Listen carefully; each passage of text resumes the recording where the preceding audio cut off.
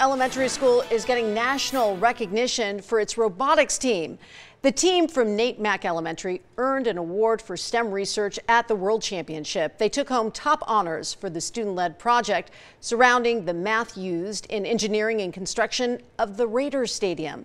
The team is in Kentucky competing in the VEX IQ World Championship with their robots and was previously featured in our Raising the Bar series about how the projects are helping them succeed. Well, there are